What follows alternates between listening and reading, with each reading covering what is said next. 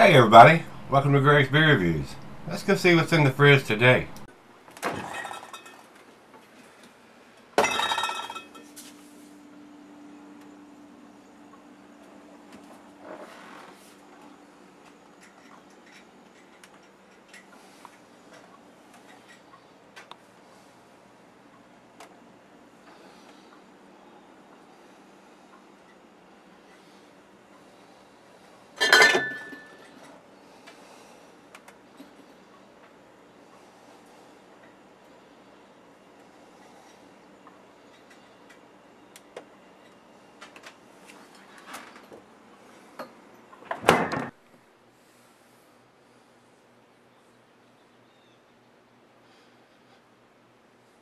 Hey everybody, thanks for stopping by Greg's Beer Reviews today. We're finally getting this Rahr and Sons uh, beer out. This is their reg the regulator. And uh, to me guys, the regulator uh, or regulators reminds me of the movie Young Guns where uh, they were a bunch of those guys that called themselves the regulators. Uh, this thing here uh, is a 8.5% Doppelbock German style Doppelbock according to the label here. Uh, says uh, it's 8.5% alcohol, 30 IBUs. Now I'm not seeing, says it's a 2014 bronze and a 2015 gold medal winner. Now I don't see where they got that from, whether it was GABF or some other uh, uh, beer festival. Uh, these guys out of Fort Worth, Texas. This was sent to me by Dr. Brandon. So, uh, got several Brandons that send me beers. and this is uh, uh, the one that he has sent me. Uh, and I, have had it for a month or two. 8.5% uh, doppel, or double bock, doppelbock. Uh, these kind of beers usually sell very well. There's nothing in there to keep you from not cellaring this beer as far as I know. So, I did read something about this. Uh,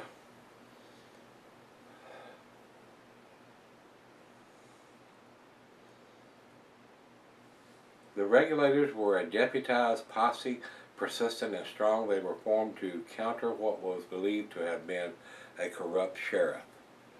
The regulators were resilient, relentless individuals who rode hard across the plains. It is this vision that we created our Doppelbock, a brawnier version of the traditional Bock that was first brewed in Munich by the Paulaner monks. Paulaner makes some very tasty beers over there. They've been doing it for a long, long, long, long time. These beers are basically considered a meal in the glass. A lot of times when they're fasting, they'll drink beers like this uh, to get a, get their nutrients, basically. Uh, says here, our Doppelbock has a huge, creamy, persistent head with intense malty flavors and aromas with little hot presence. So saddle up and ride with the regulators. So, uh, big, bold beer. Should be a lot of malt here. Should be uh, caramel, toffee, dark fruits. A big, bold Doppelbock. So, uh, and these and the color range is different on here. I'm going to read you what a Doppelbock is. It says here, Bocks, you know, these beers with goats on the label are relatively strong German lagers. And I don't have my lager glass. I'm not going to pour it in the lager glass. I, I like using this glass for beer reviews, guys. Uh, name might suggest are typically even stronger and contain enough malty goodness that they've been considered a meal in the glass for centuries. Generally have been a full-body flavor and are darker than their little Bock brothers and sisters with a higher level of alcohol. They range in color from dark amber to nearly black, and dark versions also have a slight chocolate or roasted character.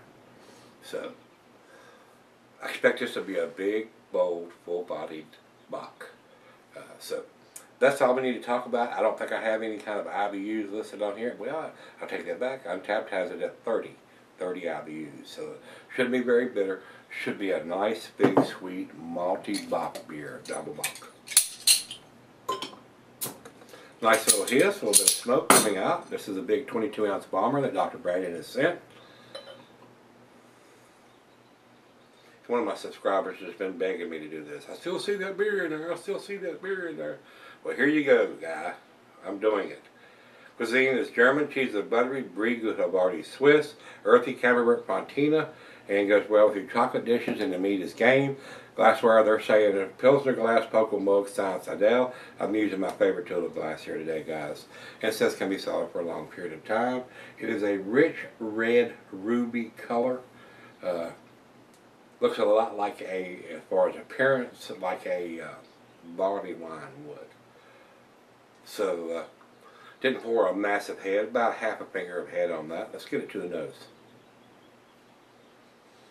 Great big sweet malt caramel, toffee, brown sugar, maybe some molasses. Not getting a lot of chocolate or anything, but probably some hints of some dark fruit. Smells very malty in a glass. It doesn't smell super huge and sweet like a barley wine does, but it does have some nice sweetness to it.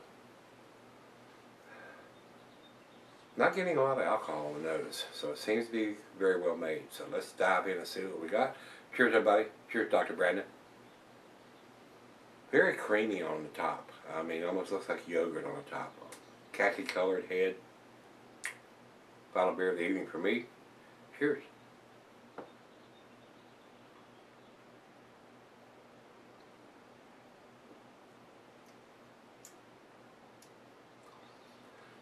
Very tasty. I'm not getting big, strong alcohol, boozy notes on it.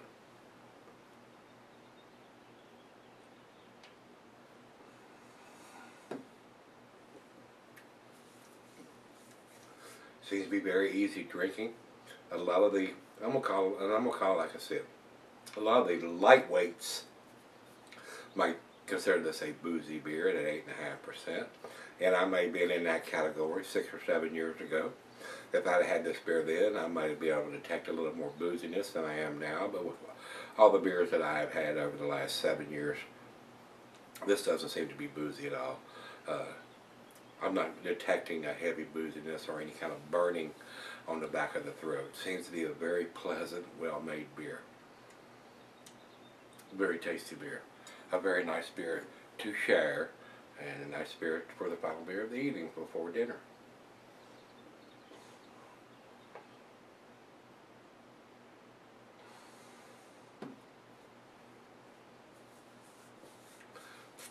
Very nice caramel toffee molasses notes on this beer.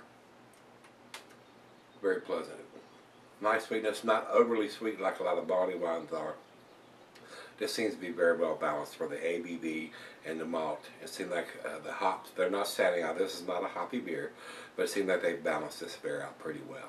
So, well, let me pour her a glass and sip on this for just a tad and see where we end up with this one. Hi guys, I'm back. Got just a little left here. Kind of nice lacing effect on the glass. Not the best Doppelbock I've ever had, but decent. Uh, nice caramel, toffee, brown sugar notes, hint of a little bit of dark fruit, not much. Not getting any bittersweet chocolate or anything like that on it.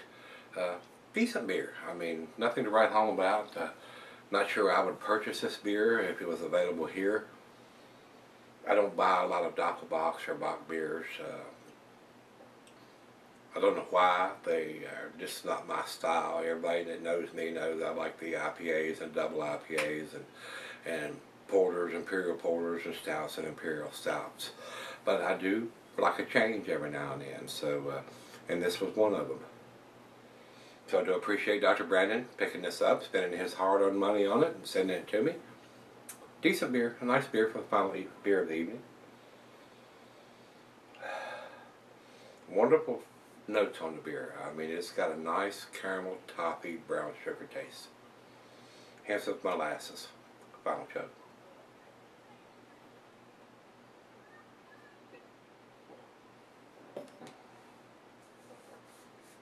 Very easy drinking, 4 and 8%. Alcohol super well hidden, well made beer. To me, guys, I'm going to give this a B. plus. Numeric rating would be an 88. That's where I'd put this. I didn't see any kind of dating on the bottle or on the label anywhere. Uh, it's just not standing out where you can see it if it is there. And now that it's empty, I don't see anything printed on the bottle in black ink. I don't see anything. And I've got his name here. Let me pull that off on the tape I put on here. It has some kind of sticker on there, and the tape pulled half of it off. It says 413 2017 on there, but that's an additional label maybe the beer store put on there uh, when they got it in or something. I'm not sure whether that's actually when it was put in the bottle or not. I don't see anything written on the bottle. So, 88 for me, guys. Uh, let's run over to Beer Advocate. Beer Advocate says 88. Hey, we're in agreement here on this one. B plus beer. And for our bottle check in, we're going to Untappd. They have it at 3.79. That is in their B plus category also. So B plus all around from everybody, guys, on this beer. So if you've had this one, the Regulator from Rahr and Sons Brewing Company out of Texas, let me know what you think. Come on back tomorrow. Let's go see what's in the fridge. See you then.